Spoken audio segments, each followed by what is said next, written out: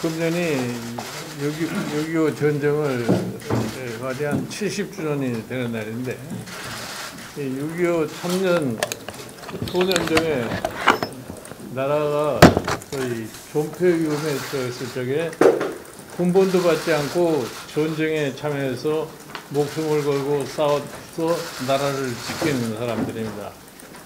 사실 이 사람들은 징집의, 대, 징집의 대상이 안연 소년들이었기 때문에 정말 신병에서 우러나오는 애국 정신을 가지고 이 참전을 했던 사람입니다. 이게 학도관과 달리 소년병이 군번을 받지 않았기 때문에 이 전쟁이 끝난 이후에도 이들의 소위 전쟁 참여해야 되는 것이 명확하게 드러나지 않아 가지고서 정당한 국가로부터의 대우를 아직도 받지 못하는 경우가 많은 것 같습니다. 그래서 우리가 이 나- 나라가 어려운 환경에 처했을 적에 순수한 애국 정신으로 이 전쟁에 참여한 이러한 소년병들에 대해서는 국가 마땅히 예우를 좀 해야 되지 않느냐 하는 이런 생각을 합니다.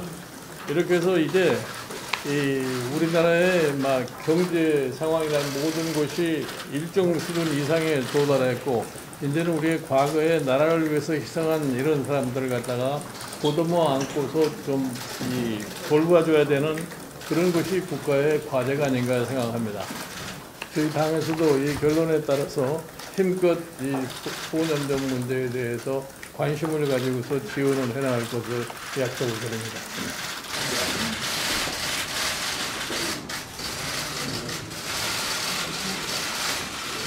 저는 이상 전염병 예방사 전염병 전은병. 전은병. 전은병 예우 합시다.